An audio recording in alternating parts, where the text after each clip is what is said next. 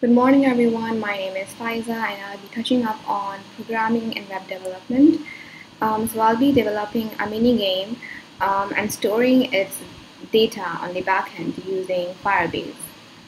So, and I'll be using HTML, JavaScript and CSS to, to create this entire game. So I'll be first demonstrating how this app actually works. So you enter in your name first and then you can choose a difficulty level. Could be easy medium or hard. I'll go with easy. So essentially what happens is here that we have stored uh, three colors in an array and we programmed it, programmed it to be shuffled at a particular time. Um, and uh, that is why the colors keep changing. If it's easy it will be slower and as we go uh, to medium or hard it's gonna get faster. So um, the game works like this. So when the color when the when the color gold pops up we need to select the button with the text in color gold. So if it's black it's going to be white in color gold. Oh it's white. And if it's gold it's going to be black in color gold. Black. And so that's how it essentially works. And gold will be black so so my score is 5 now and I want to um, see my ranking on the leaderboard. So we click on this and you can see your ranking. So my name is Faiza and have a score of 5 but this leaderboard is not ordered now. It's not ranked in the correct order. So um, I need to refresh the page and then click on this again and we see that I am the winner because I have a score of 5 which is more than more than the other um, players who have played this game. That's how it essentially works and um, I'll show you the database where we're storing all the data. This is the Firestore Firebase. Um, so we have uh, something called collections. I have created this and then Billy, which is the other players, Tom, and my name, which is right there, Fido. That's how we store the, the data. So I'll be showing you the code now. Um, we have four files uh, for this game. One is an HTML file, uh, one uh, CSS file, and uh, two JavaScript files. So the HTML file is basically, uh, it, it, it, provides a structure for the entire app um, of this page and it can be enhanced and modified with the help of the CSS file. So this CSS file is just for the presentation, formatting, and, um, and the layout. So it just adds color to your game. Then we have the two JavaScript file. Uh, one JavaScript file is for the functions of this of this game, and the other one is to store the data, which is our name and the score, in the Firebase. Mm, so JavaScript, which is the first one here, it is used to control the behaviors of the different elements, which is already defined in the HTML file. So that's how it essentially works. Um, I will be uh, creating the entire project for you guys and we'll be going step by step uh, to to create this game.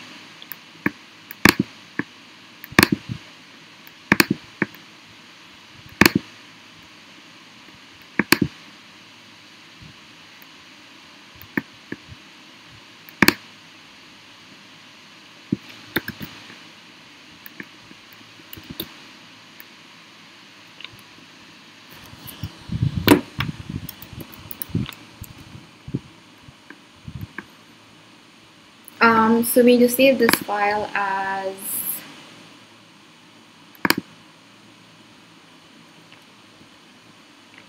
as game and the extension will be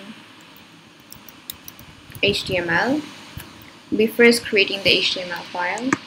I'll be saving it onto game, the desktop.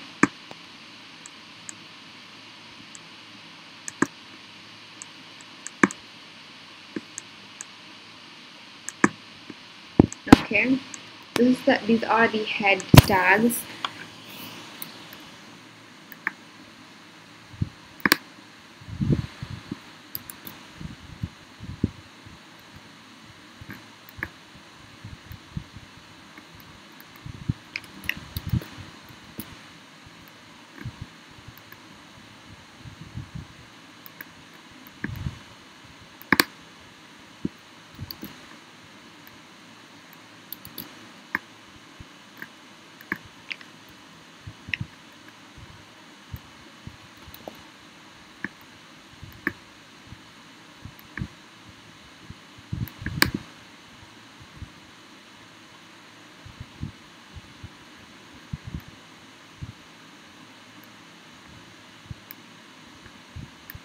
so here uh, I just created the structure of the entire app.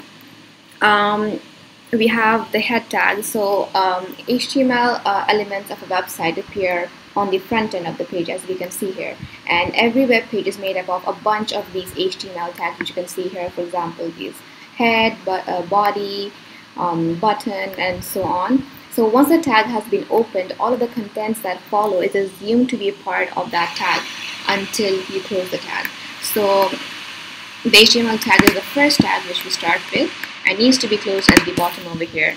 And same thing with the head. So the head tag in our case uh, holds the link to the different files. So we have we have to create um, a CSS file and a JavaScript and two JavaScript files. So these script will hold them. Mm, then the heading. So we have h1 h2 h3 till h6 so as you go down the font gets smaller. So h1 means header 1 is the biggest of all. So we have the header 1 here and you enter your name with the h3 heading. And input is basically for the input field. And it has an ID so every element in your um, HTML file needs to have an ID as a type of text. So we only take in a text um, input uh, on this on this bar so BR means um, uh, like to separate the files um, the lines is to create spaces between them. And then we have the button um, HTML tags where we need to specify the ID again class value okay. So here we have an on click on click means whenever you click on this button we will be having um, function which is going to um, be connect, connected to this. So we have a start game function. And this is the actual text which will be displayed on the button. So um, over here this is um, so there are two ways of doing of, of, of connecting CSS with HTML you can either do it inline which is over here. We are already doing some CSS over here. So that's just why the color I mean not the color the text of uh, of the current color is um, the font is kind of big. So we have we have assigned the font size this, this can also be um, set in the CSS file but I'm just showing it here so you can do it both ways. Mm, and over here as well this this one has also been done with the your score text. Is also also has some CSS in this file itself Mm, so these are all the IDs. We need to have IDs for each and every element uh, to call them for styling or for any kind of functions that you want to add. And even these buttons, see the colors are not there. They're very simple, but we added CSS to make it to make the entire game work. So now we'll be creating a new file.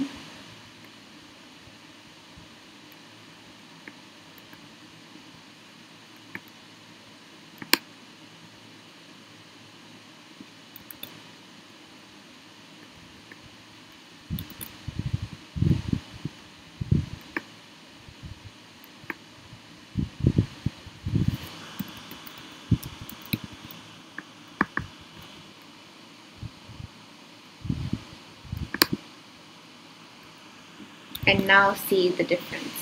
Completely changes it. So I'll be going brushing through the CSS file a little bit. Um, so this means the star means um, everything in the file. So everything in the entire page will have a margin padding and the font family for all the contents of this page will be will be as specified and also everything will be text aligned to center we have a background color we have the this input type text means we're referring to the input tag with a type of text so only this one. Yeah only this. So we are calling that here and we're also assigning it some some styling. Uh, the hashtag means uh, when we're calling an ID so it could, could be either an ID or a class but ID has to be a unique. Class can be the same. So the ID here is uh, ID has to be called in a CSS file using a hashtag and class can be called using um, a dot. The goal button for example, uh, here we see the classes. These are called here with a dot.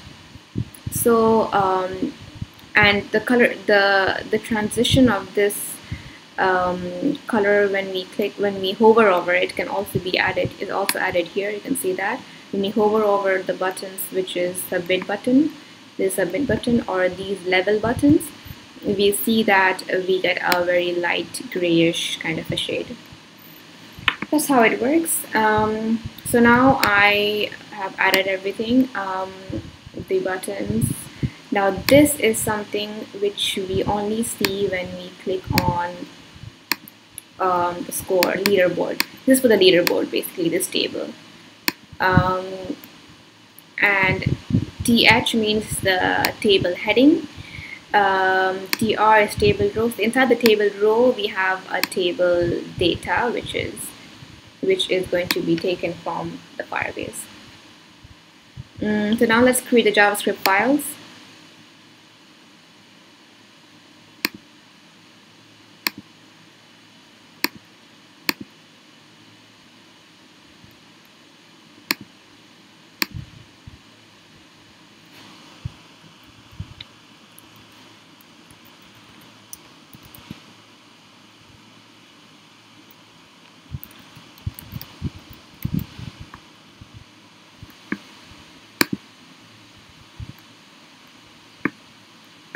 and we have called this um, JavaScript file over here in the HTML um, in the HTML file.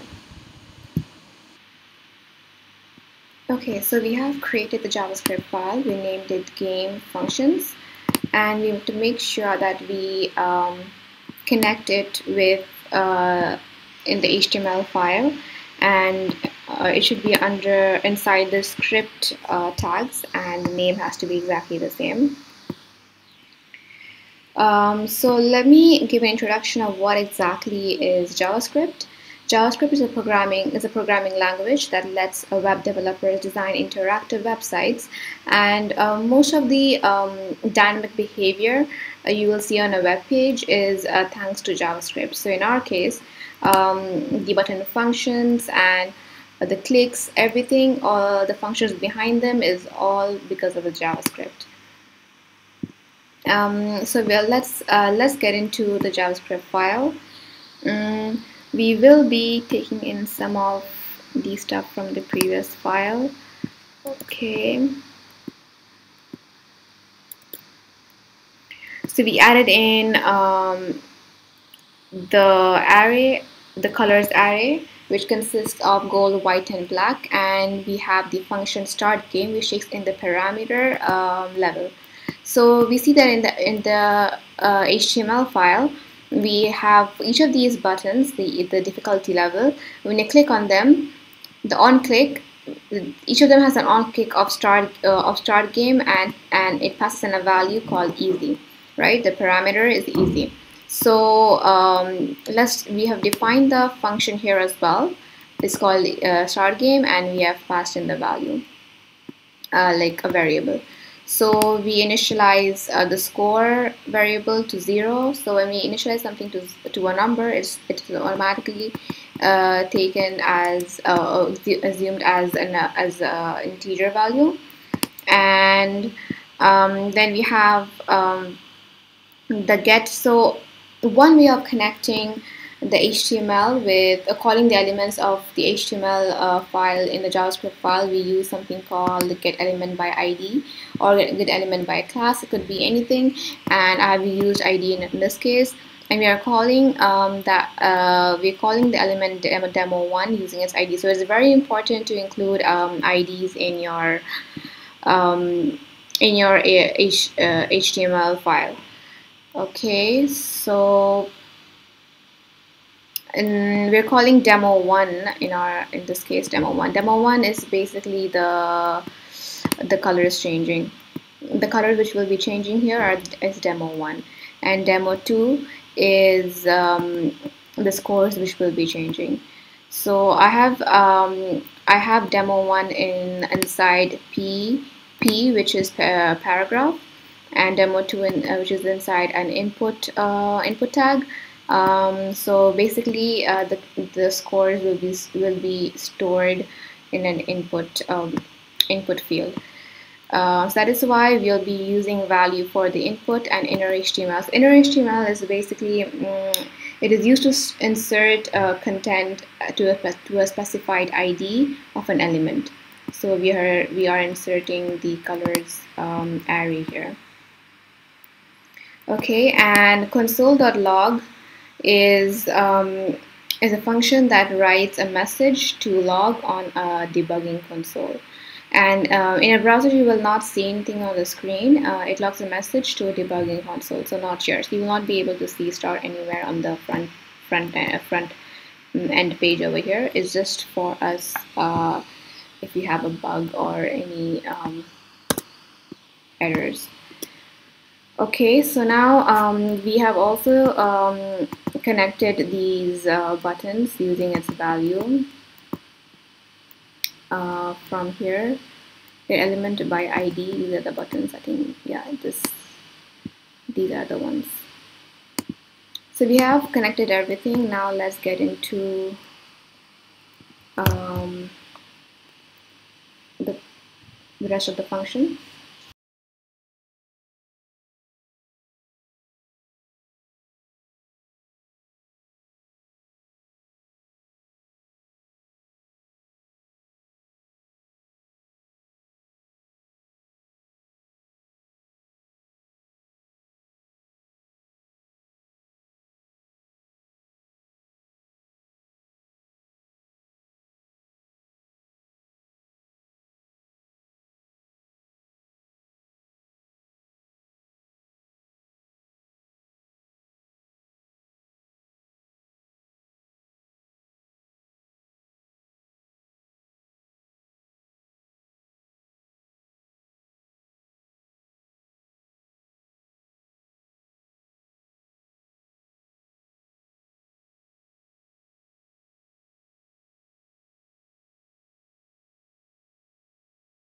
So here we see that um, we have completed um, this function where we call the start game function. We pass in a parameter which is level as the value here. And if the value is uh, easy we switch we switch between this value which we pass right?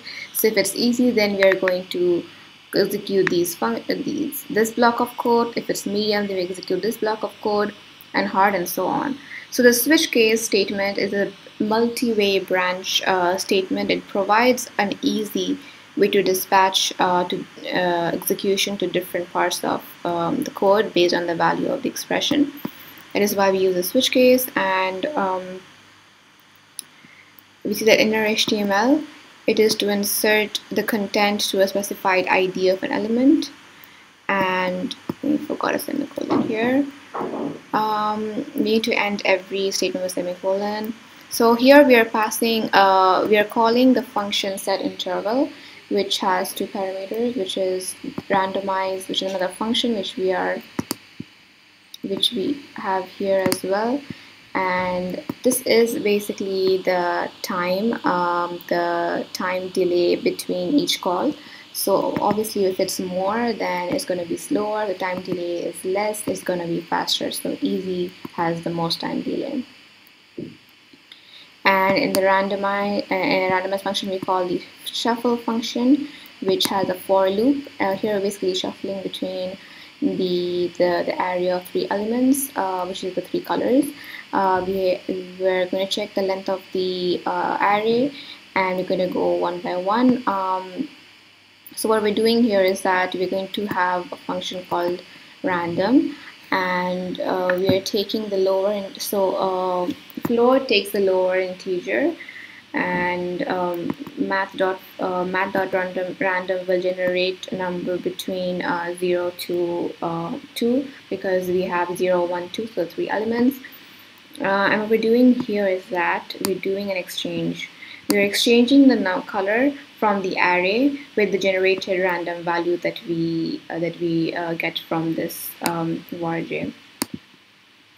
This is how we are just um, uh, switching the um, or randomizing the colors. Okay, now we the next step. Let's check in the HTML file what we have left, what kind of functions. Okay, so these buttons, these these buttons, which we click in order to get the score, uh, we have an on click for each of them and with a function called the game. And the game also has a parameter uh, gold, white, black. So if we uh, if the color which is displayed over here is for example gold and um, the text also has to be um, the text color also has to be gold yeah so let's let's let's code that in as well now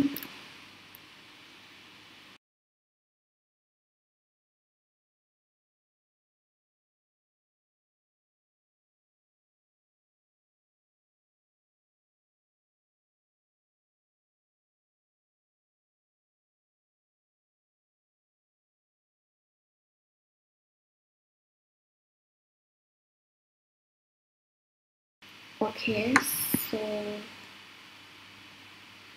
this is the game function. So we here what we're doing is we're again um, storing score which is um, a number value um, uh, in this variable will be we get this variable from the value of this variable from uh, the HTML file by using get element by ID the same thing. And even for color we'll do the same thing get element by ID we're gonna check if the color of the array is same as the value which is passed. So if it's uh, gold and if the color of the array is also gold if they're both gold then we're going to increase the score. Else we're going to increase the score and and then we're going to display the score. So it, it's very simple. That's how it's simple if condition. Let's see if the pro, uh, game works now. Let's test it out. So let's go with easy. It's cold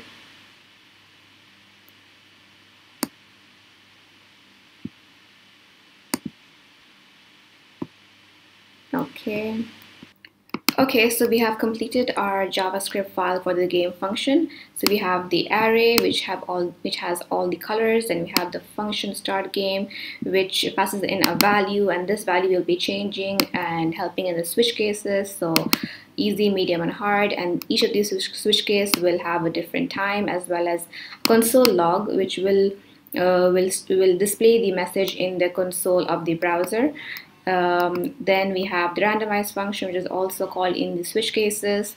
Um, then the shuffle array, and then obviously the game function, which will help to update the score. So now um, let's let's test it out on the browser. We're using Google Chrome.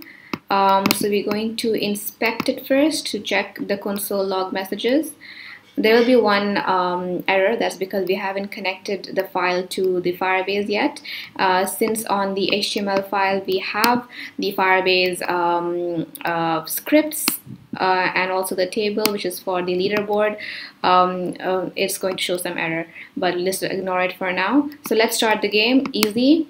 Will show that we have entered the start function. We have another console here for the start function. I'll just show it here here. We have entered the start function and we have entered uh, the switch case for uh, easy. So that's why it shows easy if click on medium there's going to be start medium and there's going to be uh, for hard start hard. So basically we know that the color the the time is changing and we are sure of it. This is a way of a validation as well. Okay so now we are uh, now we will get into connecting to the firebase uh, for that, we need to uh, go uh, um, go to the firebase.google.com website. And if you already have an account with Google um, you can go to the console directly. If not um, you have to create an account with Google uh, before you can start. Since I already have an account I'll just start let me give you an overview of what exactly is Firebase. It's, it's a no NoSQL database hosted in the cloud by Google to store and sync any of the data from the client or server side. And we don't use uh, tables, or I'll just show it to you here. We don't usually use, this is the old one, we don't usually use tables or rows or columns. It's just um, our data here is split into um, a collection. And then in collection we store um, documents and each of these documents will have a key value pair um, of, uh, which is in our case name and which is going to be a type of string. And we also have score which is a type of number. This is how we store our um, our um, data in the Firebase. And um, we're actually using okay let's start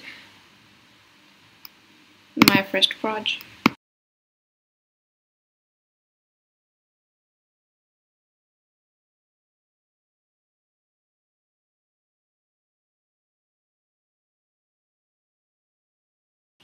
Okay, so now we'll need to um, include the script tag in our um, code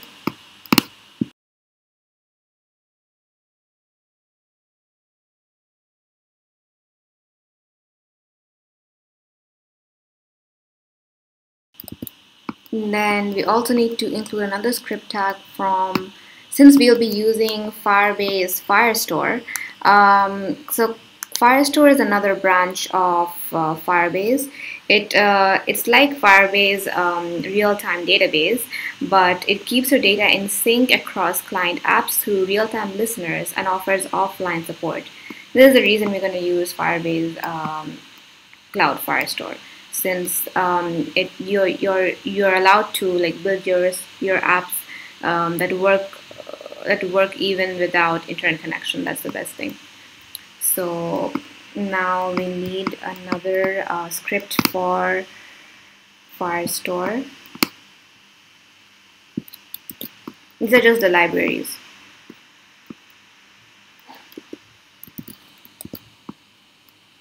Um, next we need to create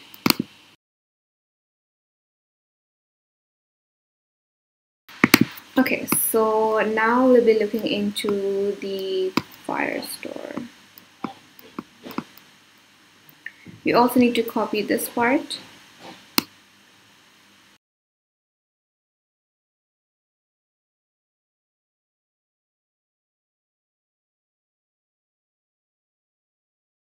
Okay, so we have added in all what was required taken from the website. Now let's go to database.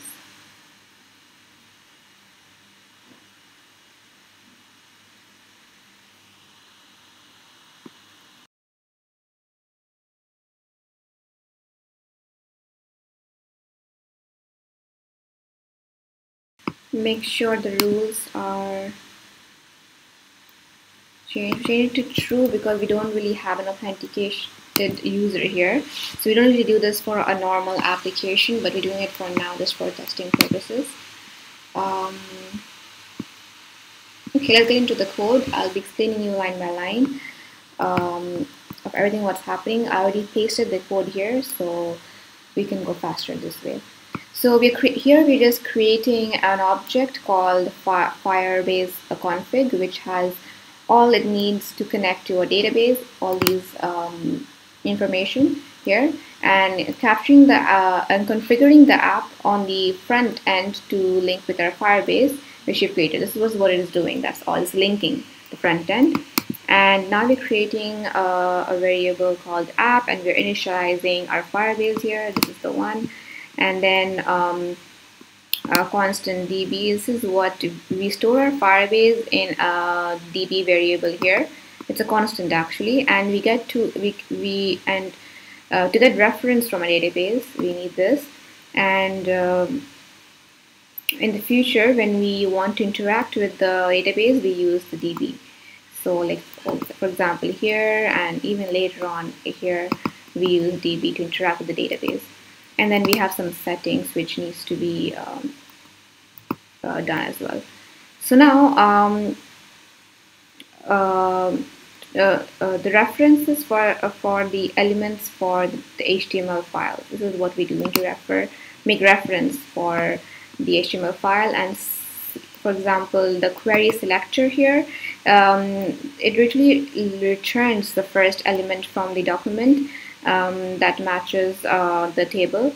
Uh, so what we do. Um, you know, in the other JS file, we used to use get element by ID, get element by um, get element by uh, class. Here we just use query selector and we um, pass in the ID of of what we want exactly. So here we have a constant submit players and submit button. So what is exactly a submit button? We have it in the HTML.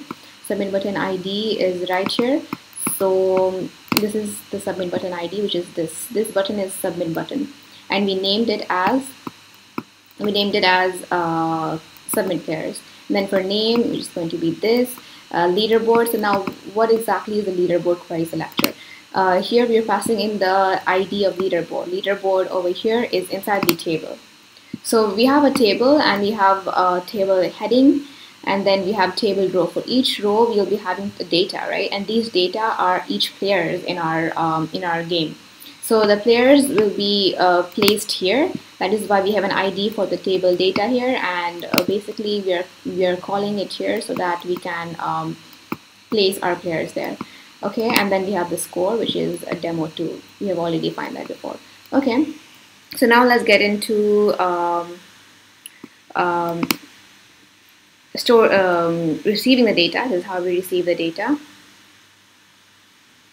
and this is how we um, save save the data so for receiving the data uh, we want to first grab the data which we have stored in the players collection right uh, so how do we store the data first? We use something called submit player. Submit player some we have already defined this as well, right? The this this button, this button dot add event uh, listener, and um, when this is clicked, basically, uh, we will check if the if the name is full. There has to be some name in order for there to be another player, right? So the, this this um, um, space has to be filled with the name. If it's not filled with the name, then um, you will not be adding anything uh, in the, the database.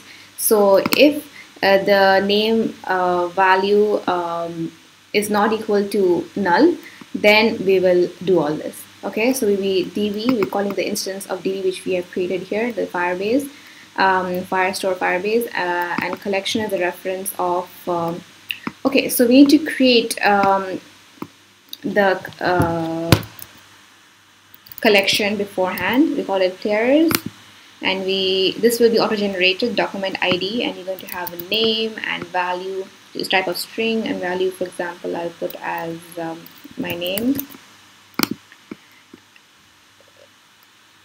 okay we also need to have another field which is called score and it's going to be type Okay, so now I'm going to display this in our app, right? How do we do it? We use, we start, we first start with this. So since we already created a, a collection called the players, uh, we, we only want to display our data from the database. We want it to be ordered. So um, the best thing about Firebase is that um, it has, uh, it provides a, a really powerful uh, query functionality for specifying which documents you want to retrieve from a collection. So yeah, and you can uh, you, you can make use of database query from the front end itself. Um, that is why it's really easy and use something called snapshot. You know what exactly is snapshot? It's just representation of um, the data inside the inside the collection. So we're calling the snapshot uh, keyword and um, we are also, if there are any changes made to our database, we'll be updating it uh, instantly as well. So uh, we can access all of our different documents uh, from the snapshot in this collection. And um, by calling the doc changes is how we do it. Snapshot doc changes. Okay, and now uh, to cycle through each and every um, document we'll be using uh, we'll be going having a for each and we'll be grabbing the changes made and seeing the document on it and grabbing the data as well this is just how we are going to grab the data from the database and display it on our app and we're having something another function called render players so we will here we have it here as well. So we're passing in a value which is document a doc. Uh, we're passing the individual document in this function so we can render it. Uh, then we're creating some elements for displaying on the front end. Mm. and um, uh, tr means table row. And uh, inside this table row we'll be having the name and the score which are table data inside the row and we're, setting the tr uh, to the document id so i have mentioned and the data data id is the is just uh, the name attribute name so document ID, I've already mentioned it here. This is a document ID and a unique ID. So we're linking this document ID with um, with the, the table row. So each table row will be document ID. So each document ID is a player, right? There'll be many players like this. Uh, this is just the first one. Then there'll be many, and uh, each of them is a row in our table. That is what I um, was thinking of. And then we'll be uh, uh adding. Uh, appending means we are adding in the name and the score to the row and uh, the leaderboard will be all in the leaderboard will be adding the row as well so what is the leaderboard we have already defined it here the leaderboard is a part of the table so yeah here so we'll be having all the players displaying there on the table okay so now let's be done with this function with the render players now we'll be displaying the table right so this is that uh, the document get, get element by id table dot style dot display equals block. That means when we click on the, the table has an id called table. So when we click on this, uh, so uh, the submit button also has an on-click function display and that's what we are actually mentioning over here. So uh, when we click on this, it's going to display the block of the table. That's what it's trying to say. Um, otherwise, it won't display. Yeah. Uh, now we have to save the data. We save the data with a click of a button and um, and we add the data name will be name value. We have already defined this over here and uh, the score will be score value. So we are adding the score value and this and this name value uh, to the table here. And don't forget to parse int. Um, because uh, the we we need to change the string to um, into an integer because we need to uh, order them in a rank right it has to be a proper ranking and sort them in descending order so we need to change it to number so that we can identify that okay so we have completed our JS functions for the Firestore and we have stored everything as well as um, retrieving everything. So we have done both ways, saving as well as retrieving the data and displaying the data. Now let's see it executing on the Google on the on the browser. Let's enter name.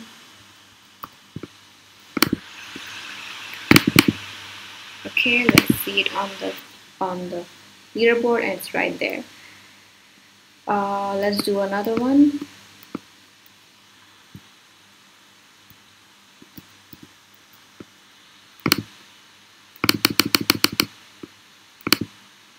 Is right there but it has to be on the top right because that's the highest score.